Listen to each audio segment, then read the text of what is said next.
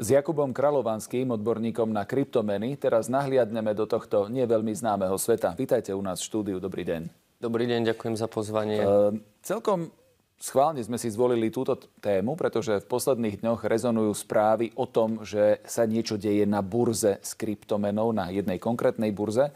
Tak aby sme urobili taký e, vchod do témy pre tých, ktorí možno nevedia, čo je to kryptomena, ako sa správa, kde sa dá nakúpiť. E, povedzte nám niečo o tom viacej.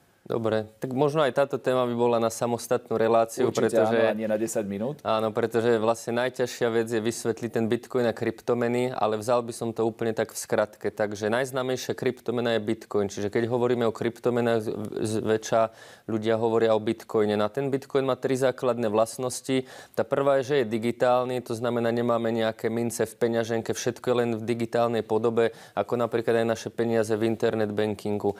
Takisto je decentralizovaný to znamená, že nepodlieha žiadnemu centru a takisto nepatrí žiadnemu štátu. Na vlastne tieto tri vlastnosti, možno by som povedal ešte aj štvrtú, že jeho obmedzené množstvo, 21 miliónov minci, nikdy ich nebude viac, tak vlastne tieto štyri základné vlastnosti z toho robia celkom unikátne aktívum.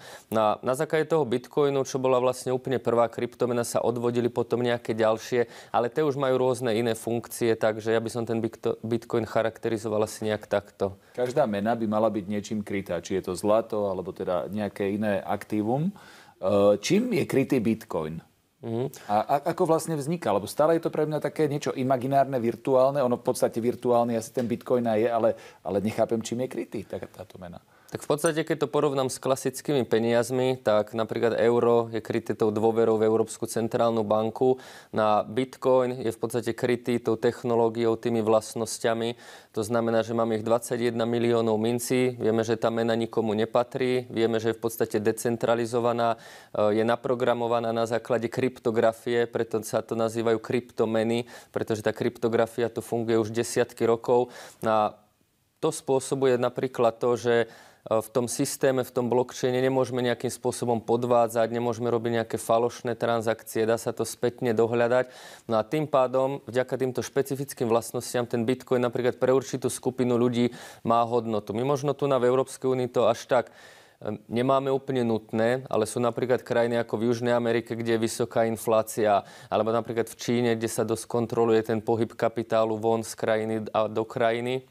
Napríklad pre takýchto ľudí, ako napríklad aj v Turecku, ten bitcoin je v podstate nejaký únik, alebo keď sme videli vlastne aj vpád Ruska na Ukrajinu, tak takisto vlastne tí ľudia na Ukrajine museli v podstate zo dňa na deň odísť, museli si niečo zobrať, na, práve na to bol dobrý ten bitcoin, že ak mali nejaké bitcoiny, mohli si zobrať jednoducho tú peňaženku so sebou a keď hoci, kadiaľ, hoci kde išli, hoci akým smerom, tak vlastne tie bitcoiny hneď vedeli premeniť za eura, doláre alebo nejakú inú menu. Čiže môže to byť taká poistka možno voči tomu štátu alebo jednoducho mať niečo bokom, niečo iné ako vo fiat mene. Ako môžem ten bitcoin zarobiť? Či môžem mm-hmm. ho len kúpiť za bežnú menu? Dá sa povedať, že dá sa aj ťažiť ten bitcoin práve v tých decentralizovaných ako keby centrách na tých počítačoch. A do toho by som už moc nešiel, pretože dneska je to už disciplína naozaj obrovských firiem. Hej, napríklad v roku 2016-17 platilo, že ste si mohli kúpiť taký sa to volalo RIG, v podstate taký počítač, doma ste si ho zapojili, no a zrazu ste ťažili bitcoiny a bolo to veľmi ziskové. Ale táto doba už skončila a naozaj je to disciplína nejakých veľkých, obrovských firiem, ktoré tie bitcoiny ťažia. Takže potom tu prichádza ten druhý spôsob a ten je práve taký, že môžete ísť napríklad na nejakú kryptoburzu alebo kryptozmenáreň, tam si jednoducho vypošlete eurá a takisto ako keby ste si nakúpili akcie alebo zlato, tak si nakúpite bitcoin alebo akúkoľvek inú kryptomenu. No a pravdepodobne niektorá z tých e, burs, kryptoburs, ak to správne chápem, má momentálny problém. Áno, a z hodov okolností je to aj tá najväčšia, je to burza Binance. A my sa momentálne nachádzame v takej situácii, že tie kryptomenové burzy nie sú svojím spôsobom nejakým zásadným štýlom regulované. To znamená, že vo svojej podstate oni si môžu robiť, nepovedal by som úplne, že čo chcú, ale nedohliada tam nejaký orgán, napríklad v Spojených štátoch amerických alebo vo svete, ktorý by vyslovene dal tým kryptoburzám nejaké pravidlá a je to z hľadiska chýbajúcej legislatívy. Pretože doteraz neexistovala nejaká legislatíva, ktorá by regulovala kryptoaktíva, regulovala napríklad obchodovanie s nimi, dala tým kryptoburzám pravidlá a preto bolo úplne bežné, že tie kryptomenové burzy práve tieto pravidlá nejakým spôsobom porušovali, prispôsobovali. No a jednoducho ten dozor tam nebol dostatočný. No a práve teraz sa nachádzame aj v situácii, ja si myslím, že to bude trvať možno rok až dva, kedy sa to úplne celé preskupí. Kedy tie kryptoburzy naozaj budú regulované a do toho ešte prídu napríklad aj ETF na Bitcoin, ETF znamená regulácia zo strany nejakého áno, v podstate, regulátora, áno? Áno, v podstate je to produkt, ktorý je regulovaný napríklad v Amerike komisiou pre cenné papiere.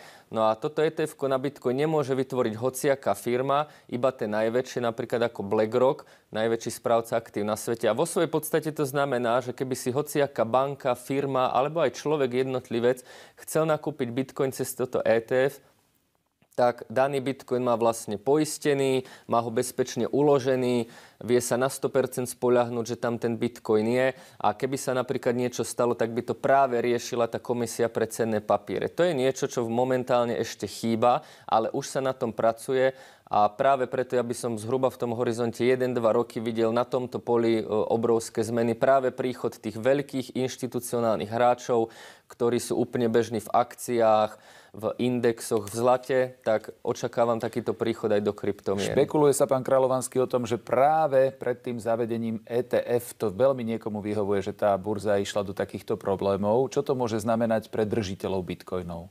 Áno, ja si myslím, že je to úplne logické, pretože napríklad keď som bol ja šéf BlackRocku, čo nie som, jeden z najmocnejších mužov sveta, tak samozrejme, ja keby som dával vonku môj nejaký oficiálny produkt, ktorý splňa všetky legislatívne normy a je na najvyššom štandardne a zároveň by som mal konkurenciu, ktorá mi vlastne konkuruje a môže brať tých zákazníkov, ktorá nie je regulovaná, tak je logické, že by sa mi to nepáčilo a že by som na tie svoje lokálne úrady jednoducho dával nejaké podnety, že pozrite sa, tak mňa tu idete regulovať, ja tu vlastne všetko splňam, ale na druhú stranu na tomto istom trhu, kde som aj ja pôsobí, tá, takáto burza, ktorá regulovaná nie je. A možno pracuje so špinavými peniazmi. Presne. Tým, že vlastne není nad tým nejaký úplný dozor, tak v podstate je na tej burze, ako si to bude kontrolovať. No samozrejme, keďže tá burza nemá nad sebou nejaký dozor v tomto momente, tá kryptoburza, tak je možné, že sa tam napríklad také veci dejú. Nemyslím si, že je to v nejakom obrovskom množstve, ale tým, že nie sú regulovaní a nikto ich nejako úplne nedohliada, tak sa to samozrejme diať môže. A teda otázka, ako to môže e, ovplyvniť držiteľov bitcoinov? Áno, zatiaľ v tomto stave, ako tu sedím, je tá burza stabilná. Ona v podstate aj sama deklarovala, že zaplatí tú pokutu cez 4 miliardy dolárov práve americkej komisii pre cenné papiere.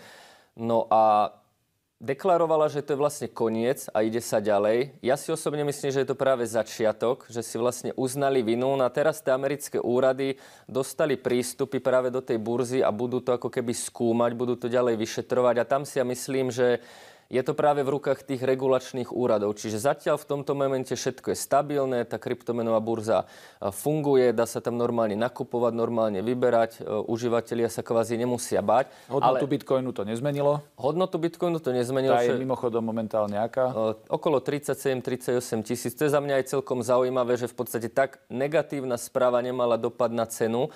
Ale ja by som povedal, že zatiaľ, čo dnes je všetko stabilné, to sa môže zmeniť, pretože to vyšetrovanie je stále aktívne a nikto v podstate nevieme povedať, čo s tou burzou bude ďalej. Povedal v rannom vysielaní televízie TA3 Jakub Kráľovanský, odborník na kryptomeny. Ďakujem veľmi pekne za rozhovor. Dovidenia. Ďakujem za pozvanie.